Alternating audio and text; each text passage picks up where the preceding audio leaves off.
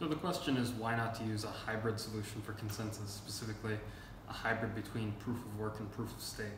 And I mean, I think it's an okay strategy, uh, at least as okay as one or the other, but I wonder exactly uh, what you gain from that because there's um, some some idea that say like the uh,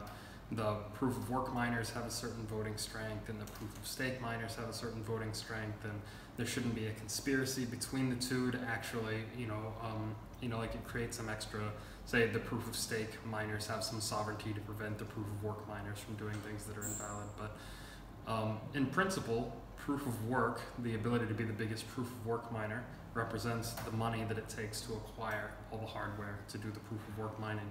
And proof of stake ownership basically comes down to who has the money to buy the stake on the network. And so I think um, I, I, can't think of a reason why those those two, say the people the most proof of work power and proof of stake power, aren't going to end up being the same people essentially. So uh, it doesn't, in my view, really represent a way to prevent a conspiracy between differently motivated groups of people. I think the same group of people ends up with the voting power. So um, I can't think of uh, a very strong reason that it creates more security than either of those systems independently.